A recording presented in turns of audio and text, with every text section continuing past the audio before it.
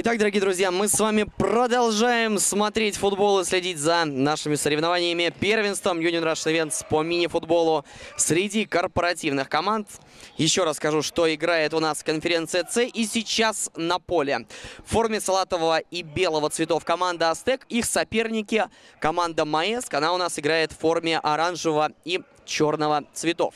А, Астек выходил сегодня уже на площадку, показал игру неоднозначную. С одной стороны, было чем порадоваться, были видны сильные стороны, с другой стороны, э, слабости в виде э, защитников, не успевающих накрывать фланги, тоже были весьма очевидны.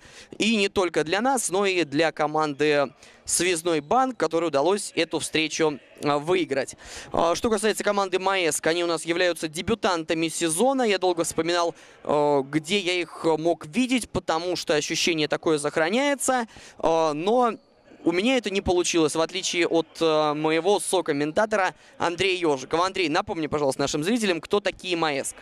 Ну, вы знаете, я про Маэско могу сказать э, следующую команду. Мы немножко знаем по э, пляжному футболу. Даже, как про всех обратил внимание, что даже разминались мячом в цветах э, бич-сокера. Но про команду могу сказать следующее. Она оставила очень яркое впечатление на турнире Гран-при летом прошлого года, когда в групповом турнире навела действительно шороху. Они обыграли РИА Новости и выиграли 2-0 у российской финансовой корпорации это Московский областной банк, фаворит дивизион, один из фаворитов. Дивизиона выиграли 2-0, и в последнем матче, чтобы выйти в полуфинал, нужно было просто некрупно проиграть спецсвязи. И у ребят тогда просто не хватило опыта.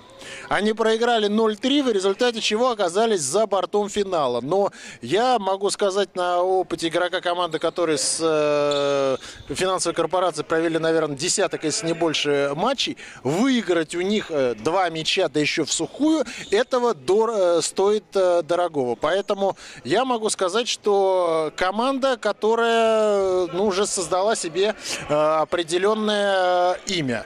Э, Астек мы сегодня видели, поэтому чисто э, визуально, как прошли первые две с половиной минуты игры, у Маэска должно быть э, преимущество в этом матче, но у них все-таки первая игра. Как ребята сейчас, соответственно, приспособятся к э, полю, к сопернику, видели они его, не видели, это отдельная тема, тоже будет иметь определенное значение. Но сейчас хороший выход в контратаку Маэска вратарь. Вратарь вовремя вышел из ворот, прервал э, передачу. И сейчас Астек на своей половине поля. Борьба за мяч, жесткий прессинг э, со стороны энерг энергетиков. И сейчас в результате э, отворот. Да, ну вот, э, возвращаясь тем, привыкнуть к полю. Здесь, похоже, ребятам с Маэско нужно быть не только к полю, но и в какой-то степени к правилам привыкать, как показал этот эпизод, э, так сказать, как вводить мяч по правилам э, мини или по правилам дворового футбола, вратарь пока э, не в курсе. Э, получил удар по лицу один из игроков Астека. Сейчас мини-паузы, и, я так понимаю, гласим составы. Нет, состав у нас пока подходит, поэтому знакомить мы вас с ними будем буквально через пару мгновений. Ну а пока все-таки хочется поговорить о футболе, потому что можно оценивать Маэск по комфортности Астека, который мы сегодня видели. Астек, Астеку сейчас э, комфортно в достаточной степени, они э, достаточно раскрыты. Ну вот э, пока немножечко удивляет, что они настолько откровенно переходят на чужую половину поля, как будто бы они проигрывают со счетом 0-2, а до э, финального свистка остается совсем, буквально пару мгновений. Всем составом они на чужую половину поля перешли, и даже вратарь уже подтягивался к чужим воротам. Итак, теперь давайте полноценно о составах. У нас за Астек сегодня играют номер 19 Евгений Ремарчук, третий Александр Фролов, номер второй Павел Вожжов. И также числится вторым номером Иван Погорельцев. Четвертый номер Сергей Титов. Десятый Максим Чистяков. Голкипер Юрий Байков. А номер 16 Денис Шестеряков. И номер первый Сергей Агеев выступают у нас за команду Маэск. Вот здесь вот приятно познакомиться. Номер первый голкипер Антон Андрющенко. Андрющенко, скорее. Номер 10 Никита Круглов. 12 Сергей Родин.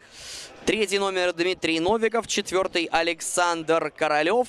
28 Алексей Ермаков. 11 Сергей Копин. Пятый Иван Сизов. Второй Рамиль Ехудин. Восьмой Константин Лазинский. И номер шестой Амир Хамзин. Ну что ж, э, узнали мы э, фамилии наших игроков. Будем э, потихонечку их запоминать, на кого-то обращать отдельное внимание. Что касается Астека, здесь, конечно, самыми любопытными, самыми мастеровитыми, уже да простят меня другие, остаются Чистяков и голкипер команды Юрий Байков. Ну вот, здорово мы видим, что действует в защите 16 номер. Это Денис Шестеряков. Он выходит регулярно. И э, в центре обороны показывает себя здорово. Ему вот немножечко не хватает э, это руководство двумя фланговыми защитниками, потому что ими нужно руководить. Другой вопрос, что Конечно, как обороняться, еще давать э, ценные указания. Здесь э, ну, банально даже времени на это не хватит. Сейчас апеллировали к судье насчет подката, но это был не подкат. Насчет даже насчет игры рукой. Но... Показывал, что защитник, да. Сейчас на подаче показывал, что защитник прервал передачу рукой. На, ну, здесь далековато, но, он, на мой взгляд, действительно, там мяч попал в э, корпус. Неправильно. Вот мяча, но зачем? Зачем? Зачем? Ну, слышал же свисток. Ну, это считается в высшей степени э, не, не, не, э, не, не этично. Я что хочу сказать, вот ты, ты отметил, что пошел Астек вперед, а я думаю, что это правильно. Это правильно. Пока соперник осваивается, пока он не привык к полю, не привык к каким-то деталям, не понял, за счет чего может э, э, добиться результата, вот именно как раз в первом тайме у Астека будут шансы. Я смотрю, они выделили Чистякова на острие, ата на острие атаки из расчета того, что довести мяч до него, а он там и разберется или через пас, или один в один. Э, как говорится, тут э, игра рукой, да, вот здесь, соответственно, штрафной игроки Маэска нарушили правила. Так что я думаю, что если таким образом рассуждали футболисты Астека, делая такую стартовую тактику, стартовую расстановку, я думаю, они совершенно правы. И я вот обратил внимание, поправишь меня, появился вот второй номер э, Погорельцев – Э, поскольку было две замены, сейчас три, у, э, соответственно, как раз у Астека. Дополнительный игрок пришел, есть возможность варьировать с, с составом. Вот сейчас. И э, я хочу обратить внимание, что выделяя, так сказать, о, четко, соответственно, уже видно, кто является лидером у Маэска. Вся игра идет впереди через нападающего. Это у нас Сергей Копин, именно в его индивидуальном исполнении создавались прежде всего горы. Вот сейчас именно он пытался нанести удар по воротам и при этом, по-моему, получил э, травму. Э, судья останавливает э, время. Ну вот смотрите, у нас уже пролетел практически первый тайм. да, да, да, да, да. как-то решили, как говорится, паузу взять и мяч у соперника отобрать. Э, игроки Маэска не получилось. Судья показал, что именно Астек будет вводить из-за боковой линии поля. Э, сейчас длинный заброс мяча. Защитник промахнулся. Защитник промахнулся, там контакт еще в э, штрафной площадке.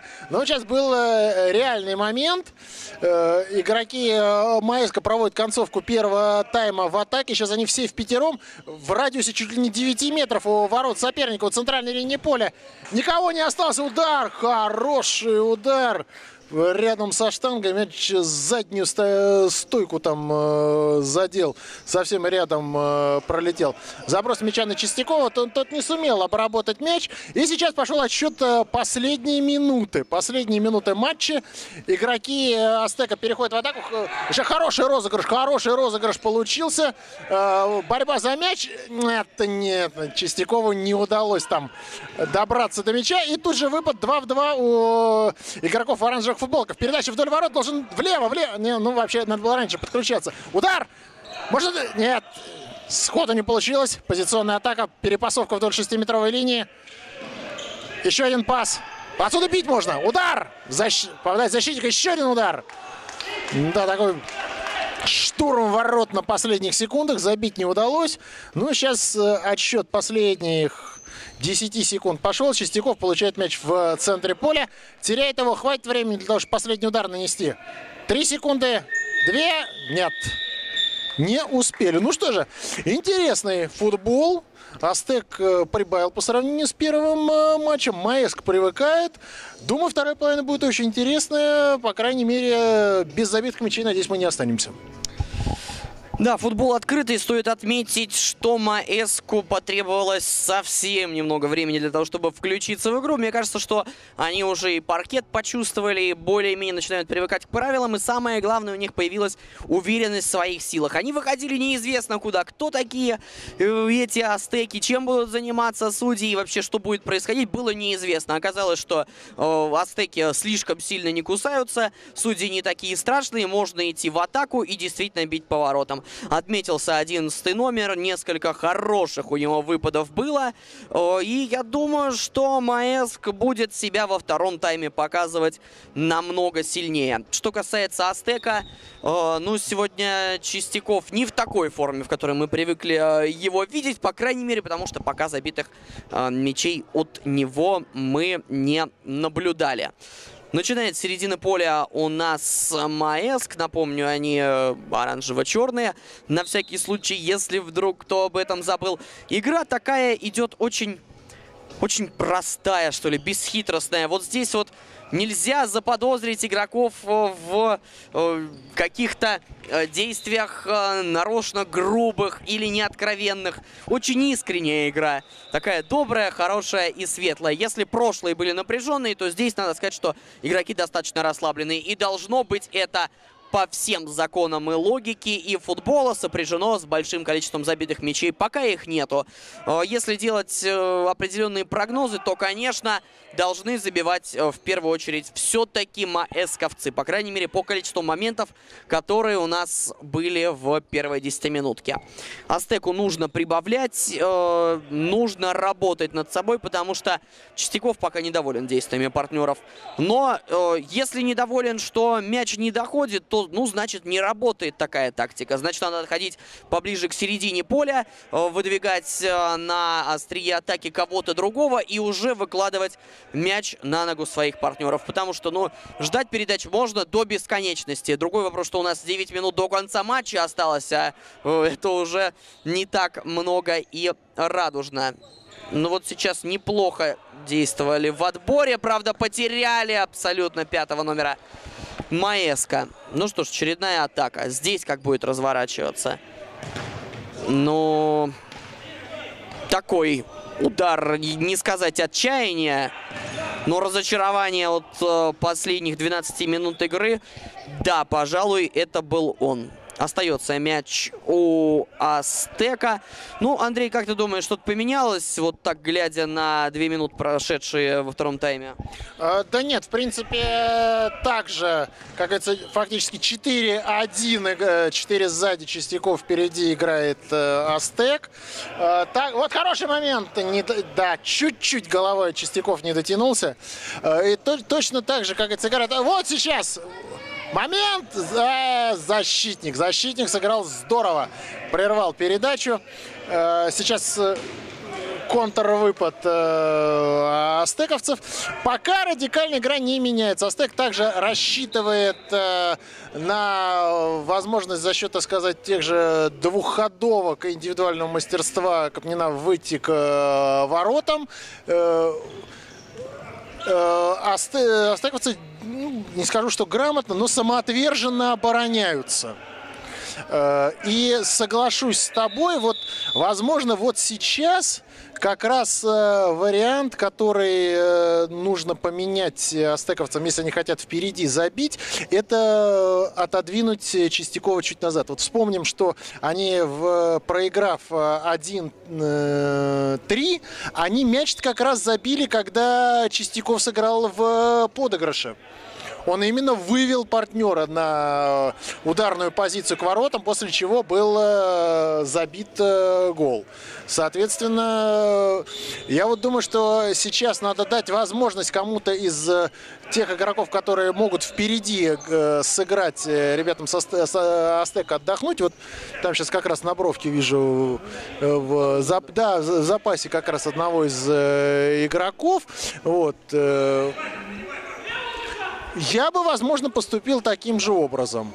Ну, плюс, э, плюс у команды есть э, тайм-аут для того, чтобы физики хватило, потому что маэсковцы моложе бегут здорово. Сейчас вот они потеряли мяч. Э, не спеша Астек собирается выводить мяч за лицевой линии поля. Вратарь. Вынос мяча.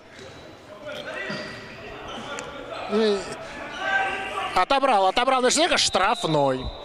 Штрафной, штрафной. Третий фол.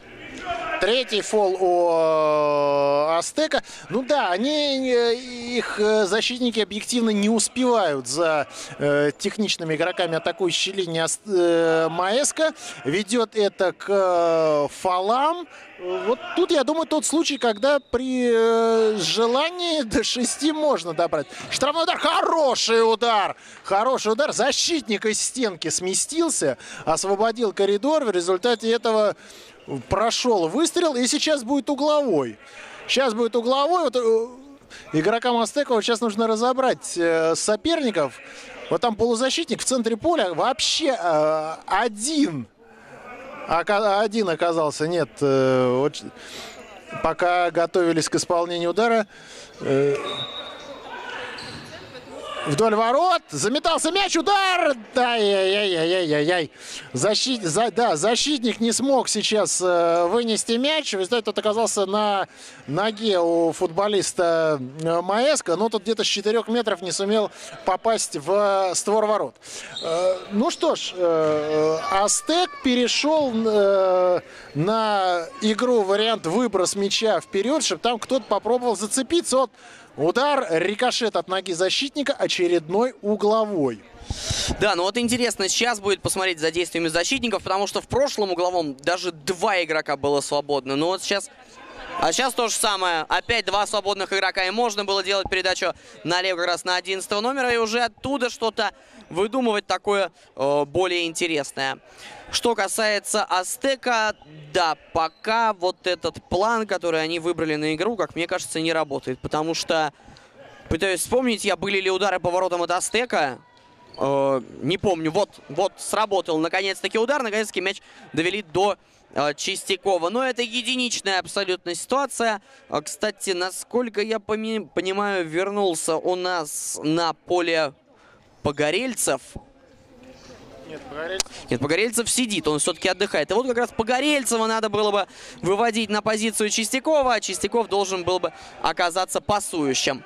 Ну, это опять же все догадки. Может быть, виднее. Вот здесь 3 в 2 можно было атаку вести, но потери. Кстати, три игрока теперь осталось обрезанных. У Астека и здесь передача не прошла. Как много ошибок-то у нас получается. Уже по разу могли отличиться наши команды. А счет-то до сих пор не открытый. Я как-то себе только сейчас э, на этой э, мысли поймал и на это внимание обратил. 0-0 до конца матча 3,5 минуты. Э, получается, четвертое нарушение правил должно быть у Астека, несмотря на то, что у нас нарисовано на табло. Но немножечко может запаздывать. Да, должен это быть четвертый фол. Ну, я не берусь судить, дело в том, что мне сейчас посмотрим, какой жест покажет арбитр, потому что, может быть, за остановку мяча ногами свободный. Нет, судя по исполнению штрафной. Судя по всему, штрафной, ну, пос посмотрим. Ну, будем считать, как говорится, три пишем, один в уме. Да, а, поэтому дотягивать чисто теоретически можно, но для этого нужно, конечно, врываться маэсковцам поближе к штрафной и там прикрывать мяч. Ну, в общем, в принципе, технология, она всем знакома. Сейчас же у нас пока стек подает угловой. Как маэсковцы разбираются, разобрались. Разобрались и в итоге заставили ошибиться. Вот здесь потеря, ударить надо. Ну, не такой удар. Я думаю, сам не рассчитывал. Бьющий, а вот здесь нарушение. Отложенный фол должен быть. А там не коснулся.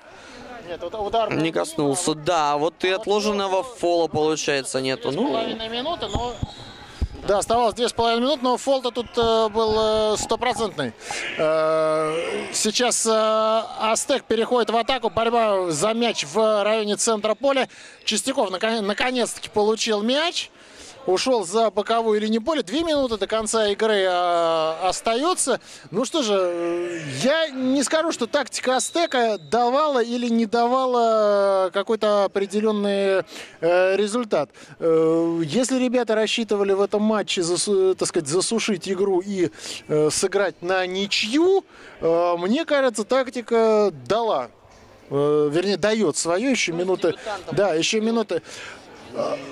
Ну, я не уверен, что Астек оптимальный состав, все-таки вот так вот э, глядя. Но по сравнению с первой игрой, у них уже вот сейчас была видна концепция, был виден почерк. Сейчас э, угловой удар будет подавать э, Астек. Полторы минуты э, до конца. Ну вот, честно говоря, сейчас им главное не провалиться в обороне. Сейчас главное не провалиться в обороне. Игроки Майска быстро воют мяч. Контратака, вратарь выходит из ворот и просто на, на вынос мяч к штрафной э, площадке соперника. Э, направляется в очередную, ну, может, последнюю или предпоследнюю атаку, штрафной. Ну вот, кстати, возвращаясь к тому эпизоду, четвертый или пятый. Ну, ну в любом случае, тут э, остается 50 секунд. Ну, я, я не исключаю вариант, что там действительно все-таки был свободный, потому что Чистяков зажал э, мяч э, ногами. Там была такая плотная борьба, что могло быть и, и то, и другое. Итак, от ворот выбрасывает мяч голкипер штрафной. Вот я бы, честно говоря, свистнул. Да, Судья тоже дает фол, потому что там был э, толчок в спину, да еще игрок в полете находился, опасный такой эпизод возник. Э, ну что же, по фолам команда так критической отметки подобрались, но остается всего 20 секунд, так что времени здесь не хватит. Аут. Аут. Э, здесь игрок вынес мяч. Ну что же, на последнюю атаку. Можно попробовать идти туда во вратарскую площадку и там бороться. Чистяков решил пробить. Ну и все. Ну что ж, нулевая ничья, ну в совокупности, наверное, в пользу Астека.